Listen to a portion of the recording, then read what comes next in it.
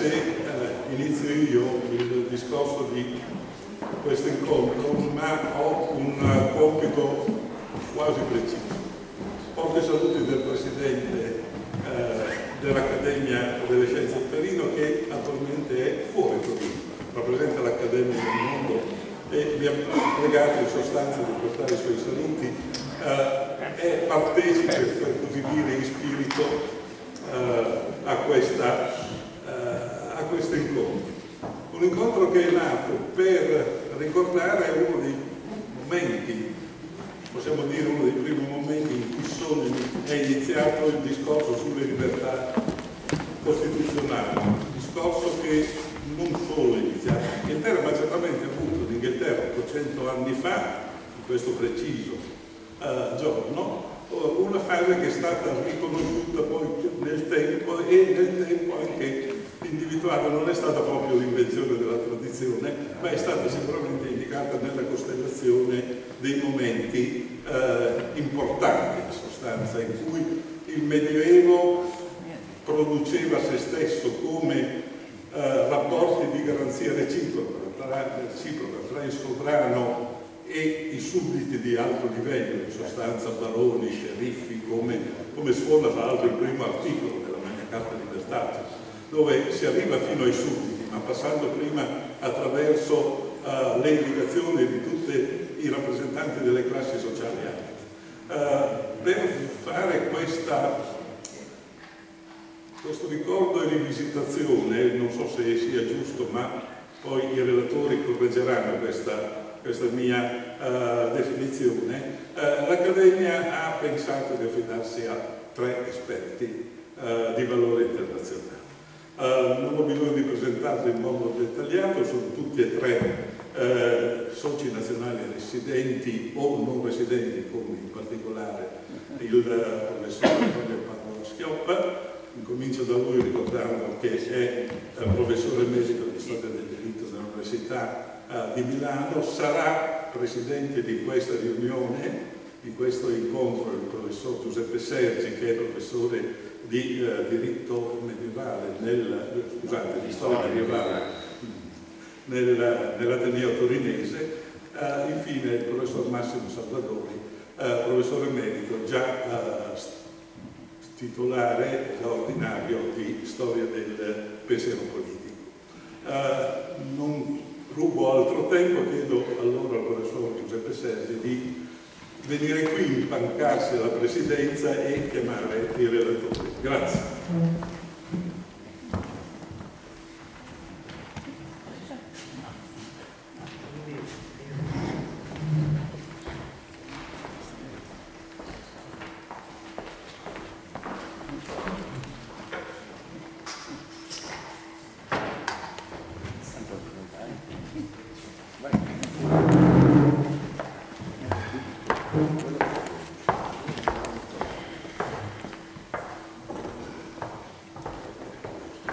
come ha già accennato il collega Gianotti, ehm, la ricorrenza degli 800 anni è una ricorrenza che non riguarda solo l'anno solare, ma riguarda solo la giornata di oggi. Eh, beh, ovviamente siamo stati preceduti, preceduti dalle istituzioni inglesi, dalla regina, come giusto sia, ma siamo stati preceduti anche da Google. Qualcuno dei presenti avrà notato che eh,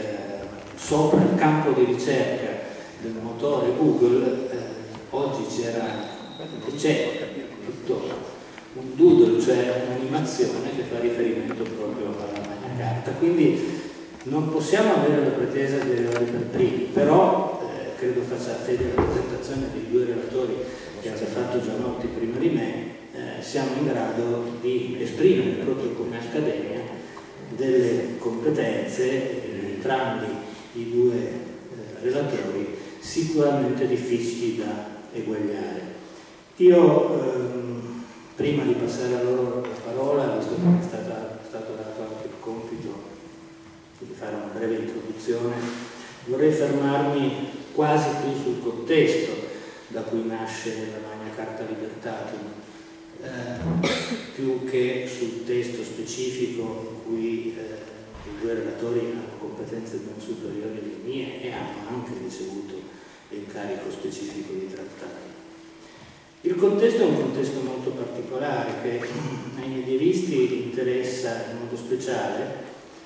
soprattutto eh, perché eh, in Inghilterra si trova eh, sviluppato in particolare prima, alla, alla, vigilia, nei decenni precedenti della, della Magna Carta, si trova un sistema che da un lato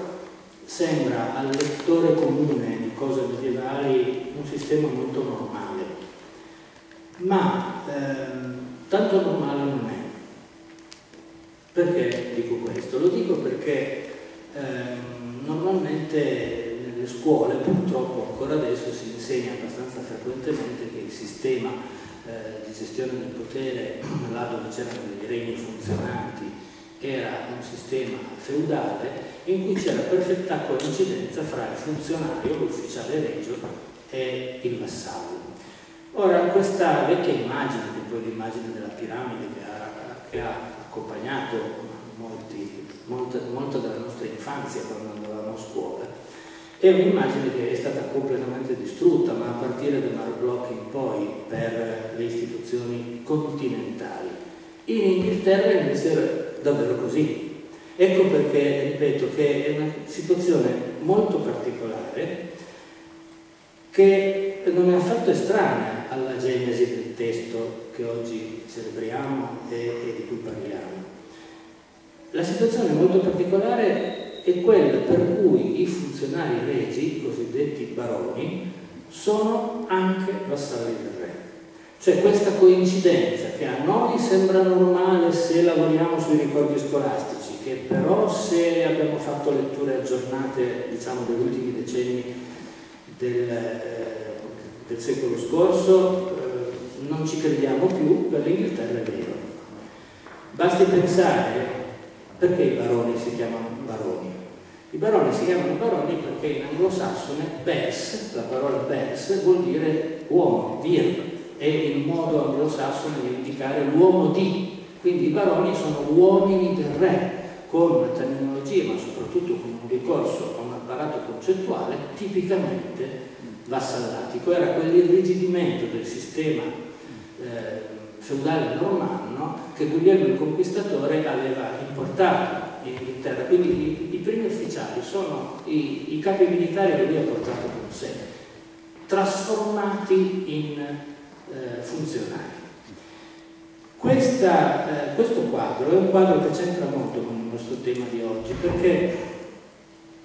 eh, tutti i decenni precedenti e moltissimo, credo che ne parlerà Padova Schioppa, moltissimo quelli successivi al 1215, sono eh, decenni di una dialettica serrata, qualche volta anche sanguinosa, fra baroni che non si limitano a essere ufficiali che non fanno fino in fondo il loro compito, ma sono anche ribelli, in un certo senso sono dei vassalli felloni, che però hanno una capacità, come vedremo fra un attimo, di eh, contare in qualche fase della storia inglese più del re. Giovanni, ad esempio, eh, Giovanni senza terra, Lackland, come lo chiamano in Inghilterra, eh, appartenente alla dinastia dei Plantageneti, è l'espressione di una curiosa contraddizione, cioè la volontà di eh, distinguere le specifiche istituzioni inglesi eh, da, dal concorrente regno di Francia, nonostante, nonostante le origini sue origini della dinastia dei Plantageneti francese sia, perché i Plantageneti non sono altro che un ramo degli Angioini, Giovanni introduce dei giudici regi itineranti, in modo che le sedute di tribunale locale possano essere presiedute da giudici regi. Questo perché avviene? Avviene perché il tipico funzionario minore di quel contesto istituzionale era lo sceriffo e in realtà per secoli Inghilterra il controllo degli sceriffi se lo contendono i, i re e i baroni in alcune fasi di quella storia gli sceriffi riferiscono ai baroni, in alcuni casi della, del, del, riferiscono invece direttamente al re. per superare il buio, Giovanni introduce, introduce, la figura dei giudici regi itineranti e qui c'è un elemento interessante perché in questa idea è aiutato da Thomas Becket, dal famoso Thomas Becket, che eh, poi però nel 1170, come vediamo siamo ancora alla fine del secolo precedente, eh, dato che si era opposto alla limitazione delle libertà e della tassazione e eh, l'introduzione della tassazione delle chiese viene, come molto noto, ucciso. In questa fase, intorno al re, non c'è un vero Parlamento ancora, ecco, su questo ogni tanto c'è qualche equivoco, c'è un consilium, un consilium generico, piuttosto fluido nei suoi margini esterni, che è come in altri regni europei un insieme di organi fiscali, finanziari, bellici, ecclesiastici. E, e il secolo XII, sempre il secolo precedente a quello della, della Magna Carta, è un interessante secolo di forte impegno culturale di vari ambienti inglesi in cui nascono i miti di Artù e della Tavola Rotonda,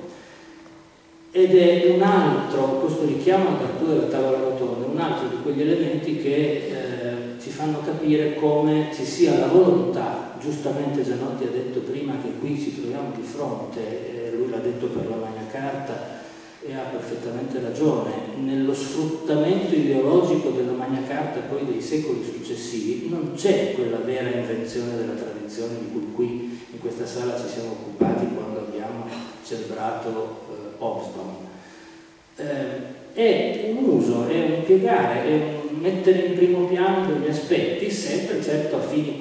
concorrenziali nazionalistici, però non è una vera invenzione. Quella del XII secolo è curiosissima sotto questo punto di vista, perché è curioso che la cultura inglese eh, tiri fuori dei, dei, dei, miti di tipo celtico, che in realtà anglosassoni non sono, e eh, usi dei miti di tipo celtico, quindi con qualche elemento di forte parentela con le origini francesi, eh, le aree di provenienza dei, dei primi celti delle isole britanniche, in funzione antifrancese, proprio perché la tavola rotonda, ad esempio, serve a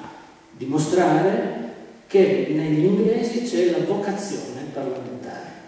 c'è la vocazione di usare al massimo coloro che circondano il potere centrale.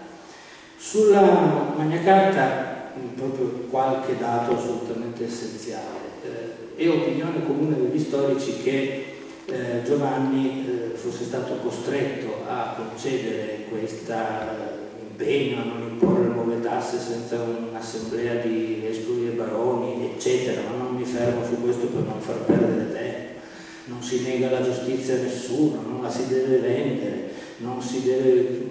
far arrestare un uomo libero se non per giudizio dei suoi pari. Ecco, mm,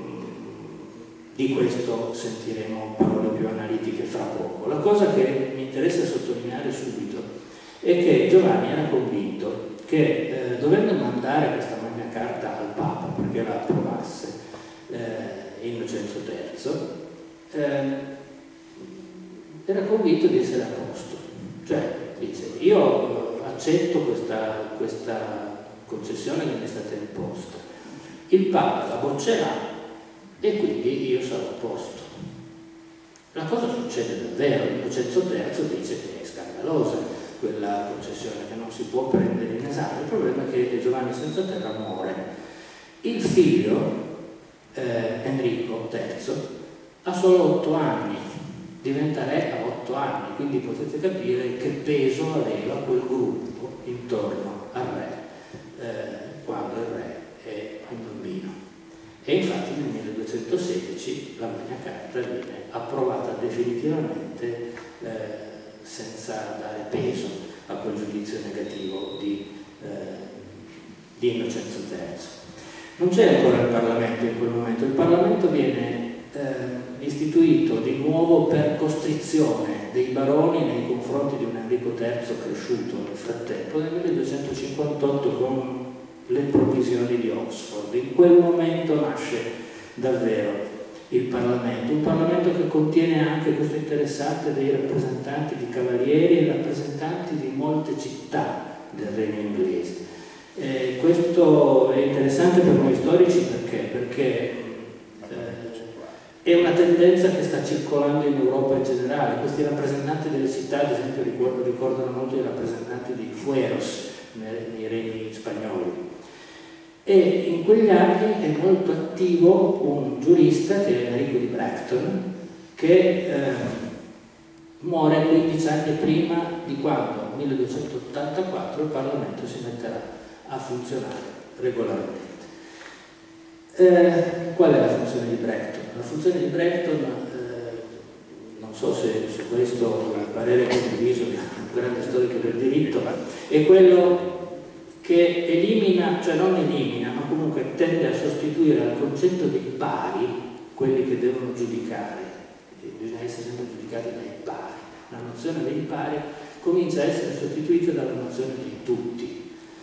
Questa è la svolta, è la svolta che si aggancia a quel Parlamento che deve molto alla Magna Carta di cui parliamo oggi, ma che nasce dopo. Nasce dopo e si mette a funzionare regolarmente dal 1284.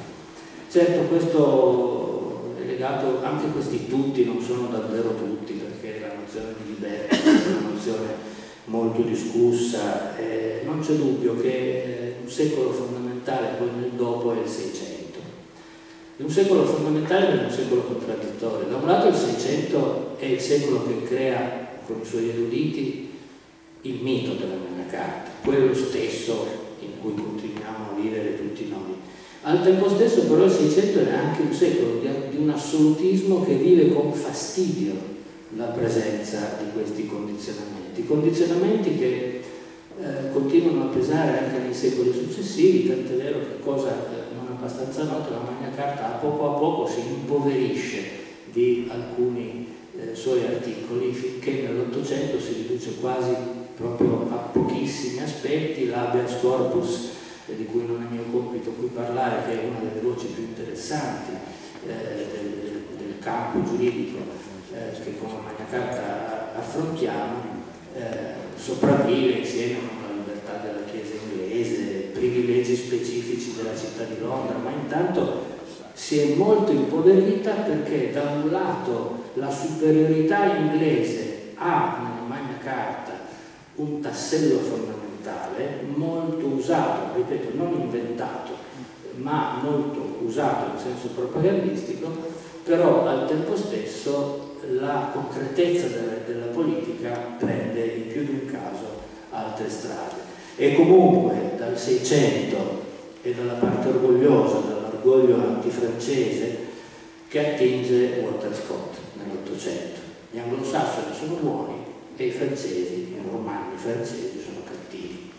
Grazie, passo la parola a, a